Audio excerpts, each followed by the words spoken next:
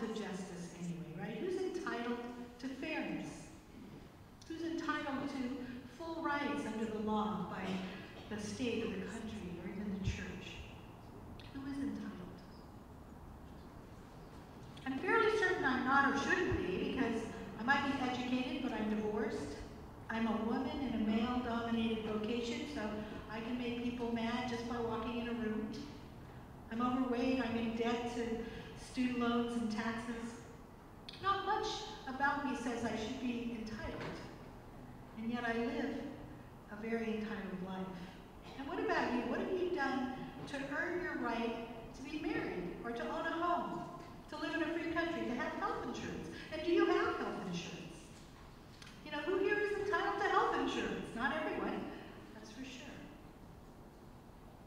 Who here is entitled to drive a car with insurance and steady maintenance? And how did you earn that privilege?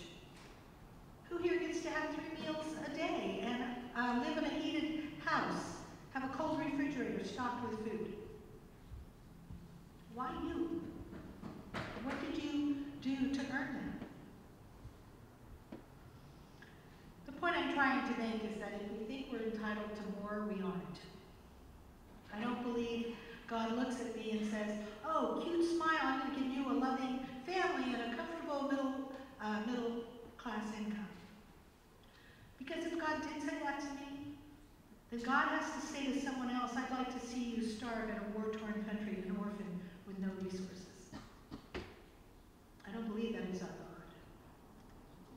I do believe that God is with me and that starving child. I believe that God wants us to take whatever lot we've been given in life and use all that we can for good in any way we can. God expects, expects us to help each other out, to want good for each other.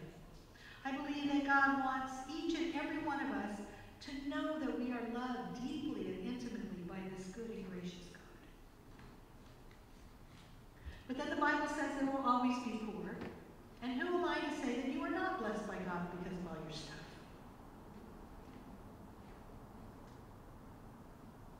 I do believe God is intimately involved in our lives. I just suspect that that involvement is a little different than um, we would like to believe. And I worry that we're living with no accountability to a world that needs us desperately. I want peace more than you know. But peace without justice is just silent suffering. And we've seen too much silent suffering for too long. I think we should lay all out on the table, not just here at Temple, but in our state, in our country. We need to see what we really have to work with. Where are the holes in what we've been doing, and where are the resources to fill them? We know we have the resources. Who gets left out? Who is entitled and who decides? The truth of it is that God has already decided, right? God's commandment through Jesus um, is to love God with all our heart and mind and soul and strength and to love each other as ourselves. That settles it, really. We have to treat others like we would like to be treated, and maybe even better, how they would like to be treated. I'd like to be married to a person I love that loves me back. I'd like to live in America. I'd like to eat three healthy meals a day. I'd like to be able to go and see a doctor if I feel sick. I'd like to be able to afford the crown I need for my tooth. I'd like to have freedom to move around, whether in a car or a plane or a boat, go where I'd like to go. I'd like to have a warm shower every morning and a warm bed to sleep in every night. I would like a home and people I love to fill it. I want to worship my God in delightful ways whenever and wherever I choose. I don't want to sleep under a bridge at night. I don't want to have to hold a sign alongside the road hoping that somebody's going to give me a few bucks so I can get through the next few minutes on the line. I don't want to live in fear of car bombs or drive-by shootings or children with automatic weapons or war tearing my home and my country apart.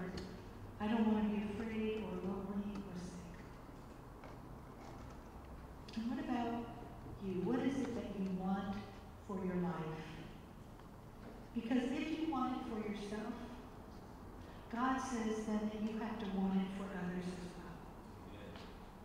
It seems simple in those terms, doesn't it? Of course, we know it's not simple. We've made life very complicated. Life has become so complex that we don't even know how to give. There's too much red tape, too many problems to fix, too many people who are starving and dying in pain. But these problems are not new. The world has suffered greatly throughout history. I was looking through some of my childhood pictures this week uh, because I was preparing to um, for my photo shoot with Karen Handy. If you haven't done that, maybe you should get in touch with her. I came across a picture of me holding this sign that I made for the day that Bobby Kennedy drove through Heidelberg, Germany, where I lived when I was a child. He was on his way to speak uh, at Heidelberg University, and here's a snippet of what he had to say that day.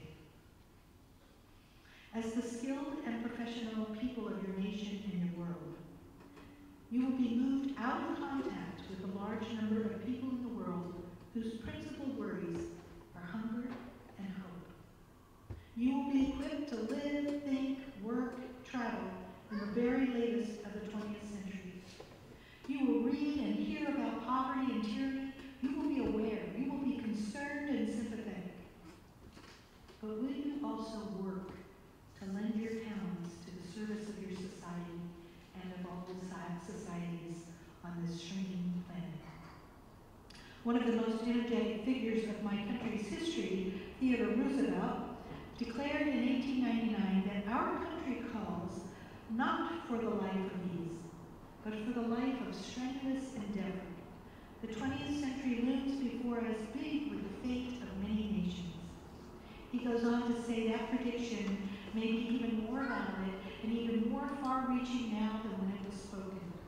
There has perhaps never been a time in the history of the world when the gap between college and community has when the need for active involvement by young people has been stronger, and the opportunity for them to do things of significance has been greater. This was the point which President Kennedy recognized and emphasized. I'll, just, I'll ask you to decide, he was fond of saying to university students, I'll ask you to decide, as Goethe put it, whether you will be an animal or a hammer. Whether you will give to the world in which you were reared and educated the broadest possible benefits of that education. Of the many special obligations incumbent upon an educated citizen, I would cite three as outstanding. Your obligation to the pursuit of learning, your obligation to serve the public, your obligation to uphold the law. Things haven't changed much, have they? Now we're well into the 21st century, and we can say all the same things that Kennedy said So I want to suggest that we take all that we are and all that we've been given and taught and use it for good with a simple act of treating each other and every person that enters our life path as we would want to be treated. That's the beginning. That's the baby step that will lead us into a lifelong journey of charitable living and giving. That's the baby step that will change our lives. We can begin by following the example of the one who offered to help us do just that, right? With grace for one another, love each other, forgive each other, care for each other, share, each, share with each other, listen to each other. Everything we need to know to cure all the world's ills are in those two commandments. Love God with all your heart, soul, mind, and strength, and your neighbor as yourself. Last week we heard Amos tell us uh, that God is fed up with all of our pettiness, right? That God wants us to sing to God. That God wants oceans of justice and rivers of fairness. And God wants us to walk head on into life, not turn our heads away when we see something that makes us uncomfortable. There's a really good book out there called Theirs is the Kingdom, celebrating the gospel in urban, urban America. It's a collection of um, experiences, stories um, that Robert Lupton, the author, had. And I'm going to share one with you now called Sit in My Chair.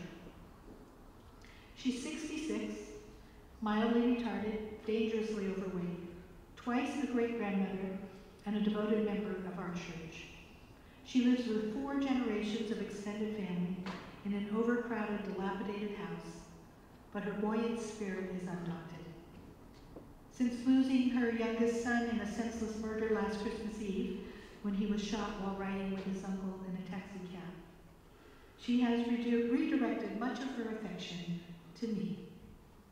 You're my buddy, she says, with a loud snap-toothed grin. I pray for you every day, and then she gives me a big, long hug. She wants to sit close beside me in every church service. And although the smell of stale sweat and excrement is often nauseating, she makes me feel a little special. Her internal plumbing doesn't work as well as it used to, and she always leaves tobacco smears when she kisses my cheek. But I am pleased to have Mrs. Smith by my side.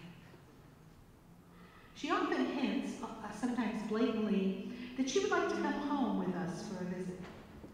Nothing would delight her more than to sit with my family at a Sunday dinner. But here is the conflict. It has to do with the values that Peggy, my wife, and I learned from childhood. We believe that good stewardship means taking care of our belongings, treating them with respect, and getting long life out of them. Our boys know they're not supposed to walk in the house and track mud on the carpet or sit on the furniture in dirty clothes. To invite Mrs. Smith into our home means we will have filth and stench on our couch. There will be stubborn, offensive odors in our living room. My greatest fear is that she will want to sit in my new corduroy recliner. I wouldn't want to be rude and cover it with plastic to protect it from urine stains, but I know it would never be the same again. Unknowingly, Mrs. Smith is forcing a conflict, a clashing of values upon me. Preserve and maintain, conserve and protect, they are words of an ethic that has served us well. Over time, these values have subtly filtered into our theology.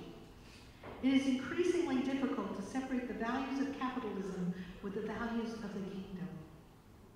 Stewardship has become confused with insurance coverage, with certificates of deposit, or protective coverings for our stained glass windows.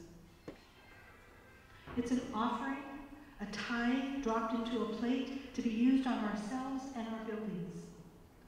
Somewhere on the way we pick up the idea that preserving our property is preferable to expending it on people.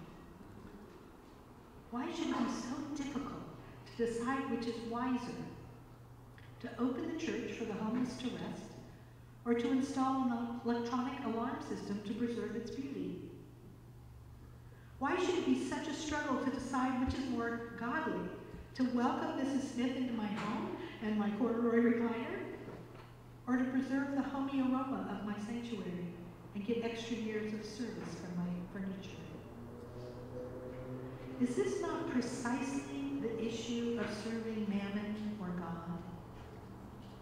How ingenious of our American version of Christianity to make them both one and the same. Listen to that again.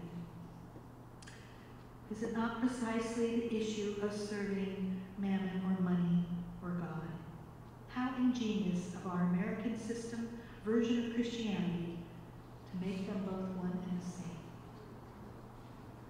We did finally invite Mrs. Smith to have Sunday dinner in our home. And she did just as I feared. She went straight for my recliner. And it has never been the same. In fact, Mrs. Smith even joined a Bible study in our home the very next week. Every Wednesday evening, she heads right for my chair.